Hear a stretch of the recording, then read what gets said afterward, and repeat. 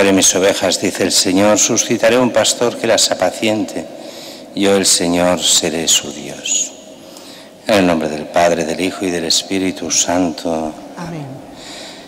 El Señor esté con todos vosotros. Con tu espíritu.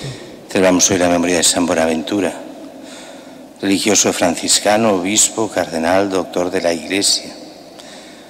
Fue profesor universitario en París, gran contemplativo, que por la elocuencia de su doctrina y la intensidad de su vida de fe mereció llamar, ser llamado el doctor seráfico. Su vida estuvo animada por el deseo de la unión de Oriente y Occidente, que él procuró con todo empeño y casi casi se logra en el concilio ecuménico de Lyon, que se celebró en el año 1274. También para ese concilio iba Santo Tomás de Aquino y murió por el camino. Y le tocó todo el trabajo al grandísimo San Buenaventura. Empezamos la celebración reconociendo nuestros pecados, pidiendo perdón a Dios.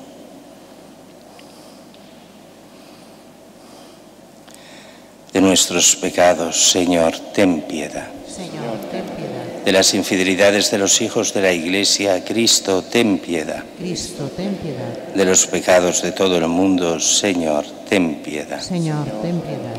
Dios Todopoderoso tenga misericordia de nosotros, perdone nuestros pecados y nos lleve a la vida eterna.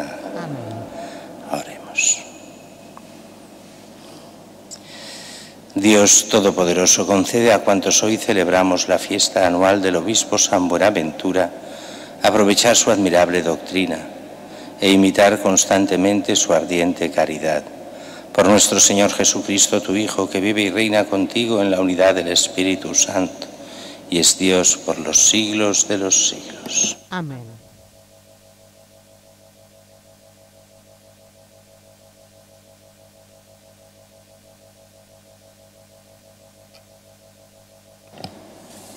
Lectura del libro de Isaías.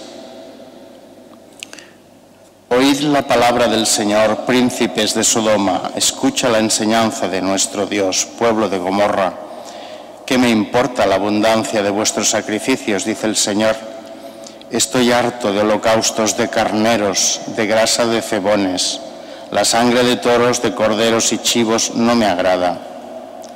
Cuando venís a visitarme, ¿quién pide algo de vuestras manos para que vengáis a pisar mis atrios? No me traigáis más inútiles ofrendas, son para mí como incienso execrable. Novilunios, sábados y reuniones sagradas, no soporto iniquidad y solemne asamblea. Vuestros novilunios y solemnidades los detesto, se me han vuelto una carga que no soporto más. Cuando extendéis las manos me cubro los ojos, aunque multipliquéis las plegarias no os escucharé. Vuestras manos están llenas de sangre, lavaos, purificaos, apartad de mi vista vuestras malas acciones, dejad de hacer el mal y aprended a hacer el bien. Buscad la justicia, socorred al oprimido, proteged el derecho del huérfano y defended a la viuda. Palabra de Dios.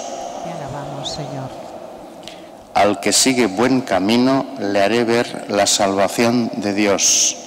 Al que sigue buen camino le haré ver la salvación de Dios.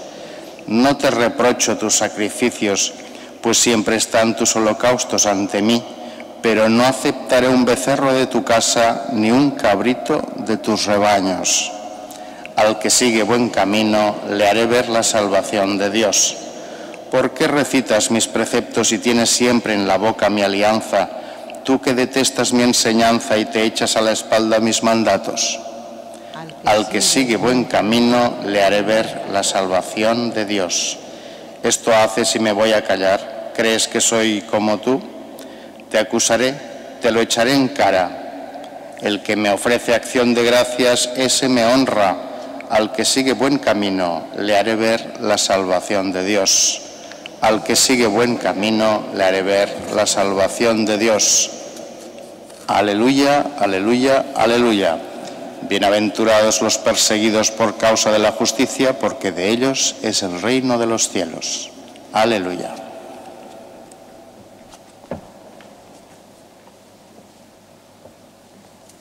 El Señor esté con vosotros. Del Santo Evangelio según San Mateo.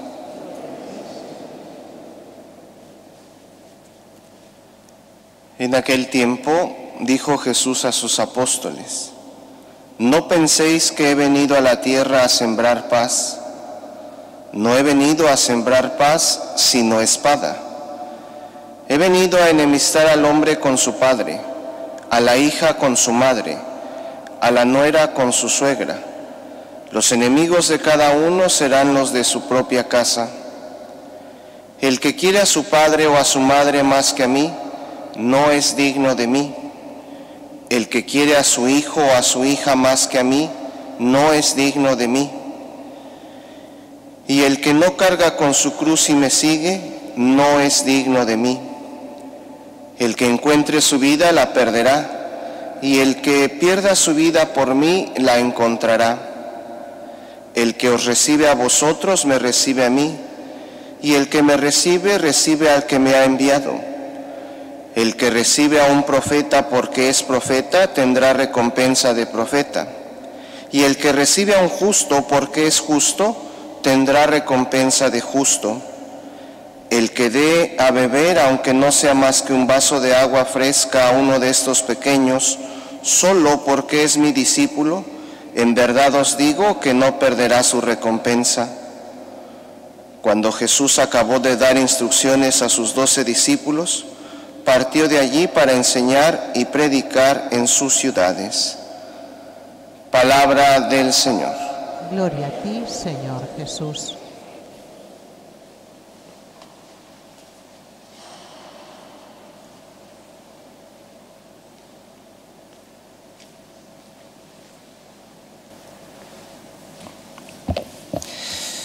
La primera lectura, muy conocida, bueno, todo es conocido hoy, tanto la primera como el Evangelio.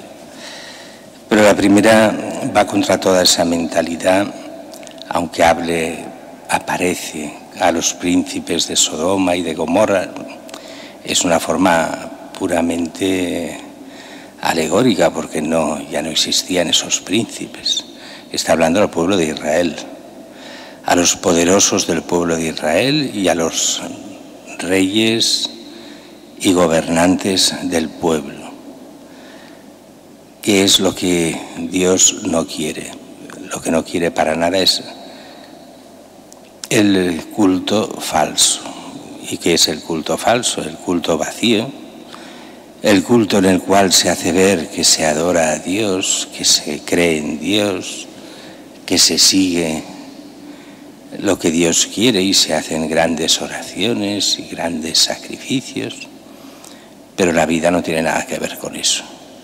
En la vida lo único que vale es el negocio, el vivir bien, el ser injustos con los demás para cada uno ser más rico uno y el otro. Y lo que pide el Señor, pide justicia, pide buscar el bien, ser justos sobre todo con las viudas y los huérfanos, que eran los que no se podían valer por sí mismos, y buscar el bien que Dios quiere.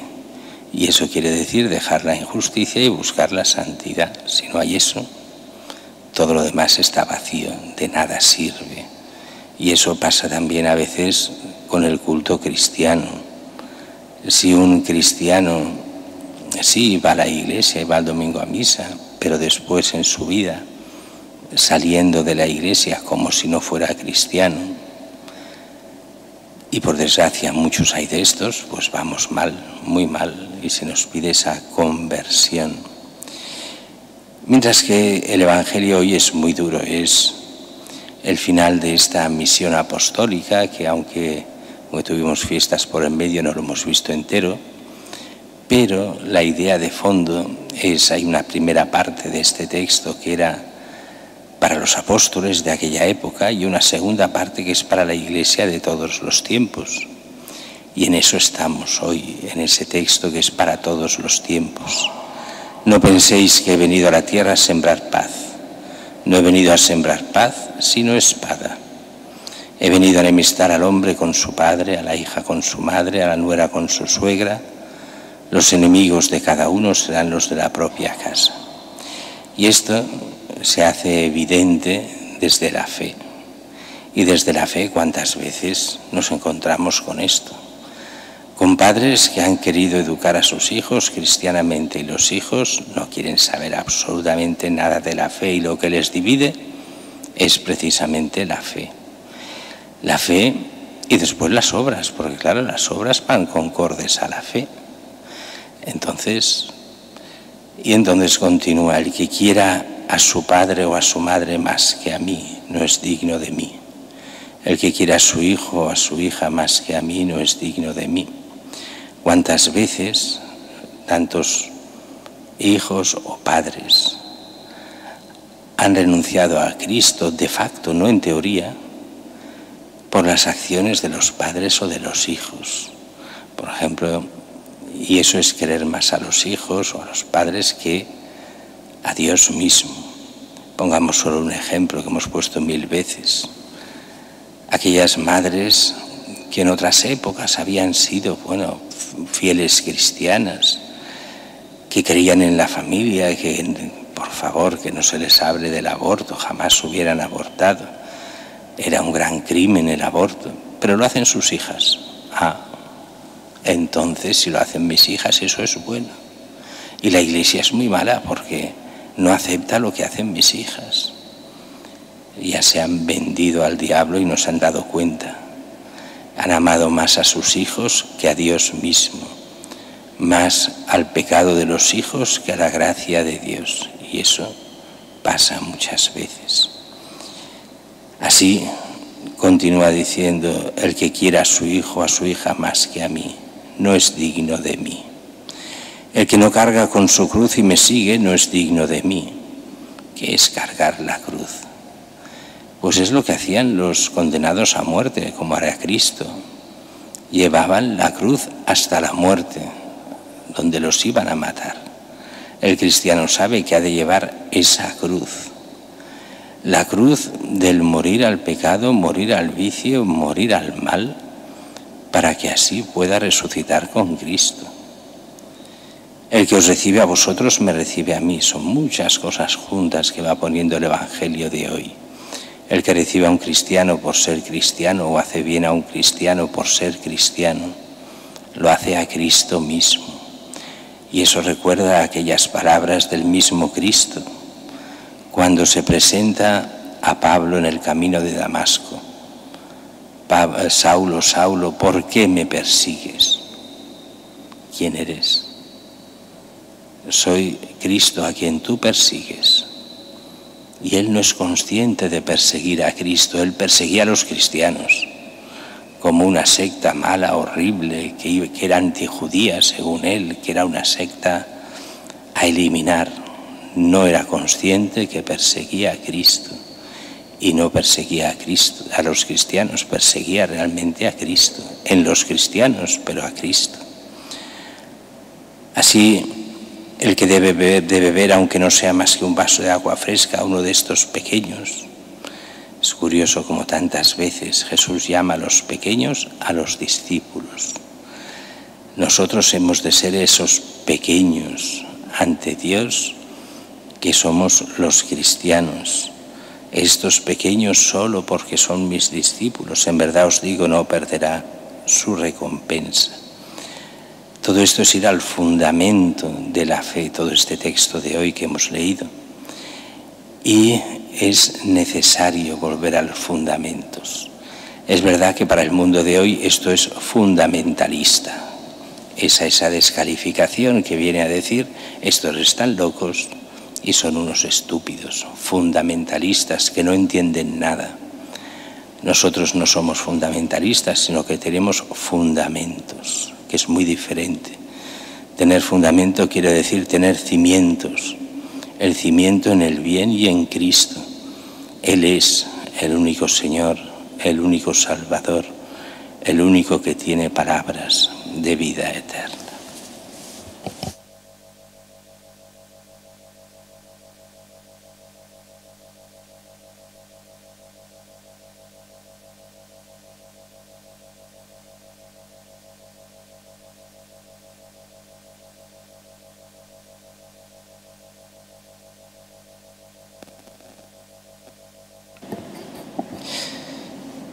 Celebrando la memoria de San Buenaventura, que hizo de su vida entrega generosa al Evangelio. Invoquemos la ayuda divina sobre la Iglesia y sobre todos los hombres. Para que en fidelidad al Evangelio la Iglesia promueva los distintos carismas como signo del amor a Dios y a los hombres, roguemos al Señor. Para que el Señor ayude a los pastores a guiar a sus comunidades con su ayuda y ejemplo, roguemos al Señor. Te para que todos los cristianos aprendamos a resolver nuestros problemas a la luz de la fe, roguemos al Señor. Para que el ejemplo de los santos contribuya a que los jóvenes descubran su vocación cristiana, roguemos al Señor. Por todos nuestros difuntos, hoy en especial por el Padre Marco Tulio Agudelo Zapata, roguemos al Señor. Padre de la misericordia, te, rogamos que derrames sobre nosotros, por intercesión de San Buenaventura, tu gracia salvadora, y nos concedas servirte con entrega generosa, amando a nuestros hermanos con amor incansable, por Jesucristo nuestro Señor.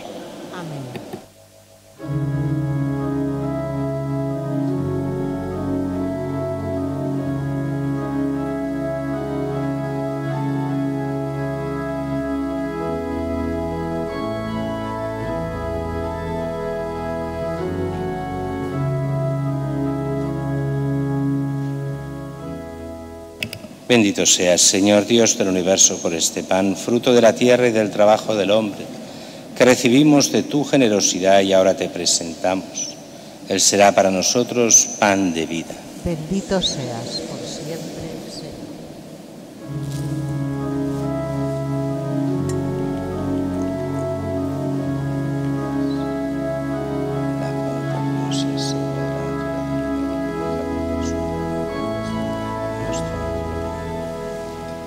Bendito seas, Señor Dios del universo, por este vino, fruto de la vida y del trabajo del hombre que recibimos de tu generosidad y ahora te presentamos, Él será para nosotros bebida de salvación.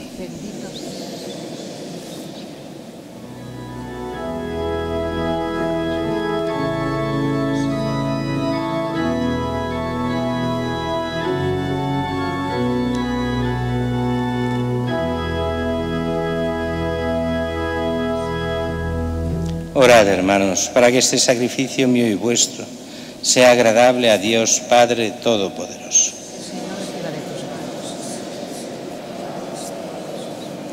Para nuestro bien y el de toda su santa iglesia. Mira con bondad las, las ofrendas que presentamos en este santo altar en la fiesta de San Buenaventura, para que glorifiquen tu nombre y nos obtengan el perdón por Jesucristo nuestro Señor. El Señor esté con vosotros. Y con tu espíritu. Levantemos el corazón. Demos gracias al Señor nuestro Dios. Justo y necesario. En verdad es justo y necesario, es nuestro deber y salvación. Darte gracias siempre y en todo lugar, Señor Padre Santo, Dios Todopoderoso y Eterno. Por Cristo, Señor nuestro, porque nos concedes la alegría de celebrar hoy la fiesta de San Buenaventura fortaleciendo a tu iglesia con el ejemplo de su vida santa, instruyéndola con su palabra y protegiéndola con su intercesión. Por eso con los ángeles y con la multitud de los santos te cantamos el himno de alabanza diciendo sin cesar, Santo, santo, santo es el Señor, Dios del universo. Llenos están el cielo y la tierra de tu gloria. Osana en el cielo. Bendito el que viene en nombre del Señor. Osana en el cielo.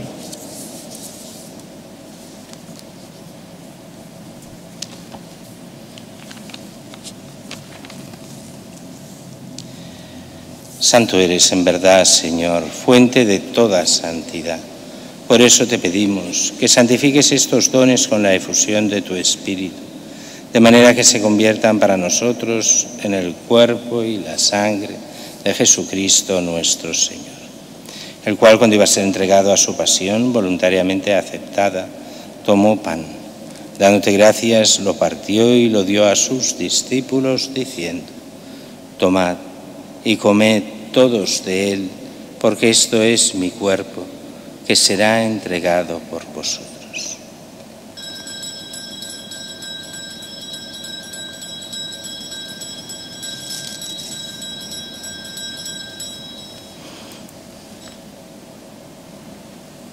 Del mismo modo, acabada la cena, tomó el cáliz y dándote gracias de nuevo, lo pasó a sus discípulos, diciendo, tomad y bebed todos de él, porque este es el cáliz de mi sangre, sangre de la alianza nueva y eterna, que será derramada por vosotros y por muchos para el perdón de los pecados. Haced esto en conmemoración mía.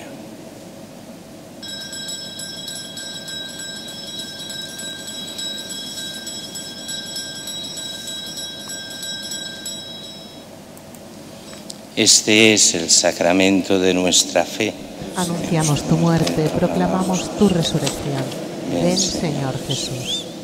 Así pues, Padre, al celebrar ahora el memorial de la muerte y resurrección de tu Hijo, te ofrecemos el pan de vida y el cáliz de salvación y te damos gracias, porque nos haces dignos de servirte en tu presencia. Te pedimos humildemente que el Espíritu Santo congregue en la unidad a cuantos participamos del cuerpo y la sangre de Cristo. Acuérdate, Señor, de tu iglesia extendida por toda la tierra, y con el Papa Francisco, con nuestro obispo Juan José y sus obispos auxiliares, y todos los pastores que cuidan de tu pueblo, llévala a su perfección por la caridad. Acuérdate también de nuestros hermanos que se durmieron en la esperanza de la resurrección, y de todos los que han muerto en tu misericordia, admítelos a contemplar la luz de tu rostro.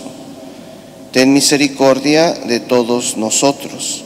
Y así, con María, la Virgen Madre de Dios, su esposo San José, los apóstoles y cuantos vivieron en tu amistad a través de los tiempos, merezcamos por tu Hijo Jesucristo compartir la vida eterna y cantar tus alabanzas.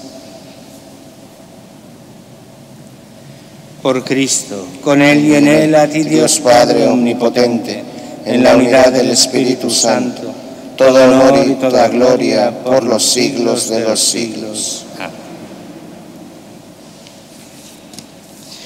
Y fieles a la recomendación del Salvador, siguiendo su divina enseñanza, nos atrevemos a decir, Padre nuestro que estás en el cielo, santificado sea tu nombre, venga a nosotros tu reino, hágase tu voluntad en la tierra como en el cielo. Danos hoy nuestro pan de cada día.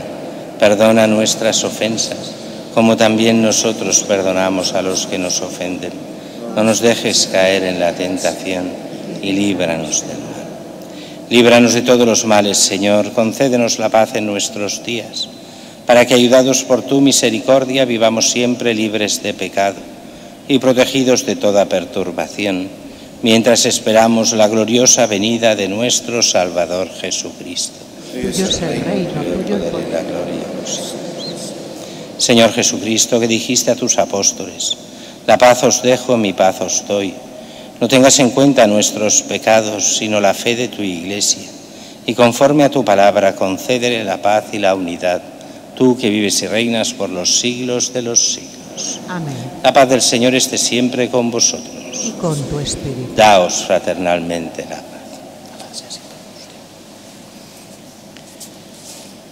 Cordero de Dios, que quitas el el pecado. pecado del mundo, ten piedad de nosotros. Cordero de Dios, que quitas el pecado del mundo, ten piedad de nosotros. Cordero de Dios, danos la paz.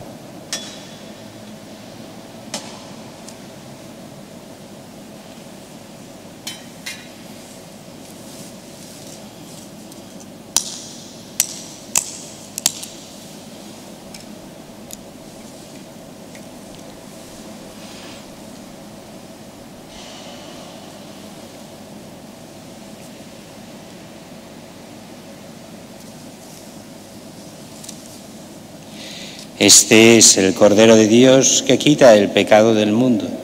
Dichosos los invitados a la cena del Señor.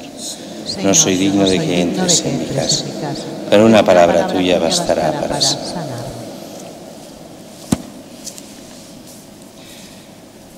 No sois vosotros los que me habéis elegido, dice el Señor. Soy yo quien os he elegido y os he destinado para que vayáis y deis fruto, y vuestro fruto permanezca.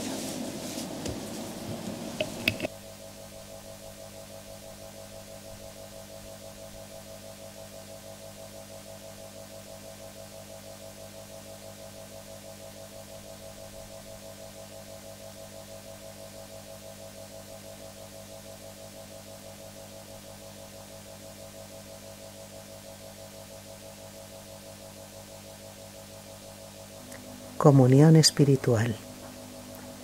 Creo, Jesús mío, que estás realmente presente en el Santísimo Sacramento del altar. Te amo sobre todas las cosas y deseo recibirte en mi alma, pero como ahora no puedo recibirte sacramentalmente, ven al menos espiritualmente a mi corazón. Como si ya te hubiese recibido, te abrazo y me uno del todo a ti. No permitas, Señor, que jamás me aparte de ti. Amén.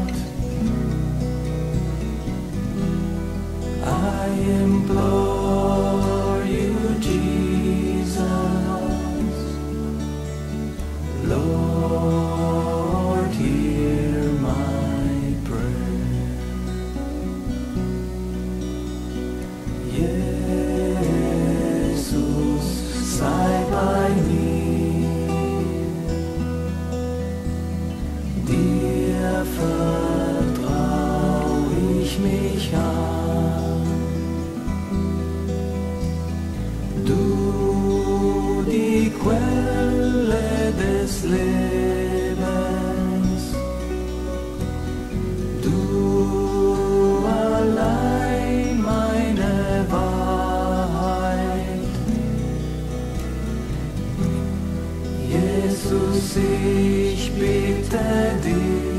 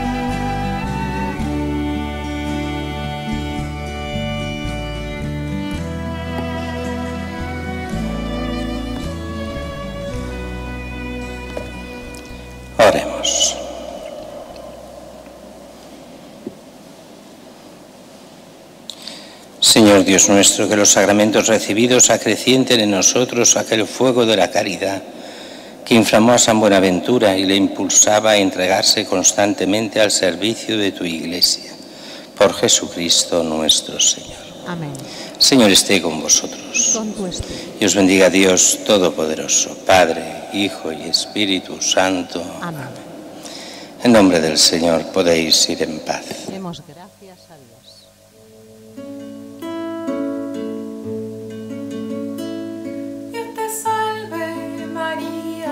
sagrada.